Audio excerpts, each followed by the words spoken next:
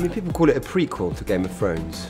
I, am not sure that it is, because it's quite a different show to Game of Thrones in many respects. Set several hundred years before, so you won't recognise characters necessarily, but you will recognise the gene pool. It's set within the Targaryen dynasty, so, you know, loads of dragons, loads of people with white hair. When we come into the story, we're basically in a battle over succession. And we start to follow these several very strong female characters navigating this new territory. And that feels very relevant and very important right now. And I did have to learn how to do a bit of combat. I don't get to use a sword. I have this really formidable weapon. It's about six foot long. On one end of it, it's got a huge uh, couple of blades, double-sided blades, and the other side is a very huge and heavy ball.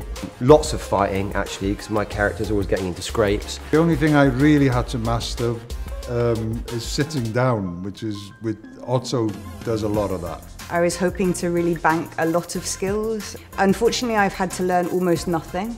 Emma and I did go on a horse riding lesson because we got jealous of everyone else doing horse riding lessons. I don't fight. I don't fly dragons. So, um, what do you do? said my little nephew, who was quite disappointed to find that I didn't fly a dragon. I'm a dragon rider. You, you don't have to learn a special skill. Are we allowed to talk about this?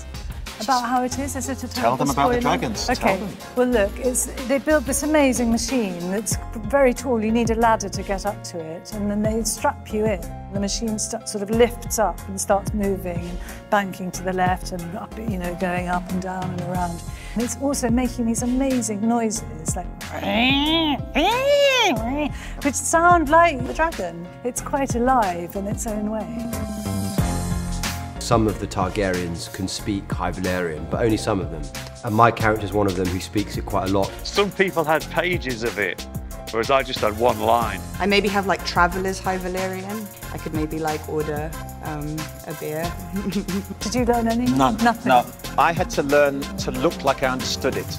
I would stand there, sit there going, mm, I, I might not forgot it. Okay, it was Scorquidosos adrizo dromon tom epsa uniroti laudixam cotas. It means, can I please excuse myself and go to the toilet, miss? I learned one word, which was Sōvēs Meleys. Meleys is the name of my dragon. Crikey, what does it mean? I think it means fly. That doesn't look very good. No, it means to fly.